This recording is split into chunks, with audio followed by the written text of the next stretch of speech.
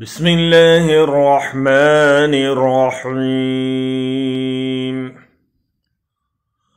ولله ملك السماوات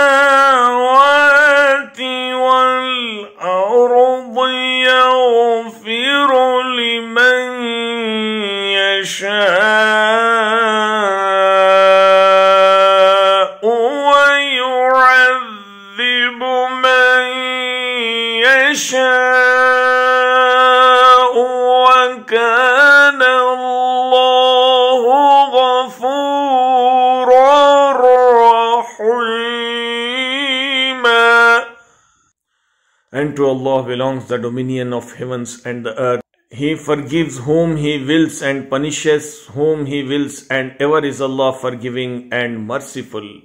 اور زمین اور آسمانوں کی بادشاہت اللہ ہی کے لیے ہے جسے چاہے بخشے اور جسے چاہے عذاب کرے اور اللہ بڑا بخشنے والا مہربان ہے۔